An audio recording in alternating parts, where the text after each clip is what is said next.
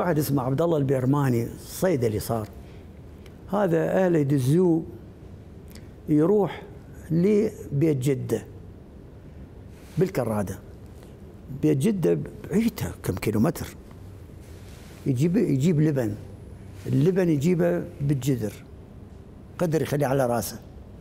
الطريق كله يذب من يوصل باب حوش بيتهم يذب ال- ال- جدر اللبن بالساقية.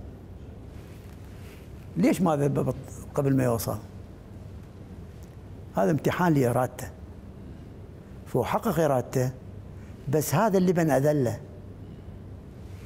حوله إلى أشياء بهدله. شغلة. أحيانا الإنسان ما يقبل اللبن يذله؟ ويذب اللبن وأهله دازيه دا يجيب اللبن والزبد أكلهم هذا هل الأمر ينطبق عليك؟ ينطبق عليه أحيانا اكو اشياء كيف؟ أشياء إلا أسويها. بس من أسوي يقولون في مال لو هاي دخولي بال- بالبرمان وخروجي مثل أبو اللبن. إيه عبد الله البرماني. ولكن يعني آه، اما من سبب معين؟ شلون؟ اما من سبب معين؟ لا أنا أنا عندي مزاجية. آه وهذه الحاسة هي حاسة ال- تسوي كأديب. لو بدون الحاسة ما يصير أديب. يعني الجواهري عنده أبيات شعر هو يناقض نفسه.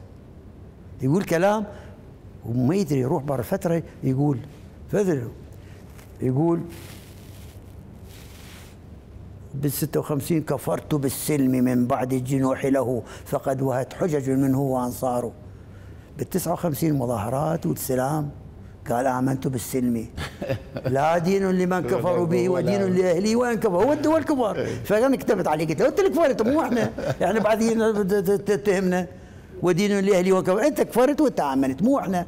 فكتبت هالشكل. فكان الله يرحمه. آه، يعني مات وهو ما يحبني. لأنه أنا داخل باعماقه السيكولوجية والنفسية. إي. وأنا أحبه لأن ما افضل شاعر هو استمرار العصر العباسي. بوفاة الجواهري انتهى العصر العباسي.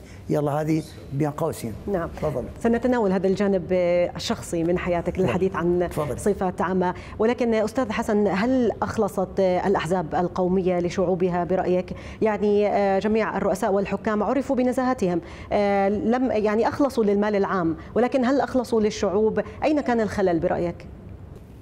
ها أنت شلون تسوي قومية السلطة؟ أنا معالجه بحد كتبي هاي قوميه السلطة في بلد بيت أكراد وتركمان وعرب شلون يصير؟ يعني نسفت الأكراد، إيش قد تعطي الأكراد؟ ربع السكان؟ اذا أنت مالك حق. آه، خمسة تركمان هاي صار هاي هاي صار 30% اذا ما لك حق 30% أنت متجاهلهم شلون لهذا الدستور العراقي اللي سواه عبد الكريم قاسم كان ثورة العرب والأكراد شركاء في هذا الوطن.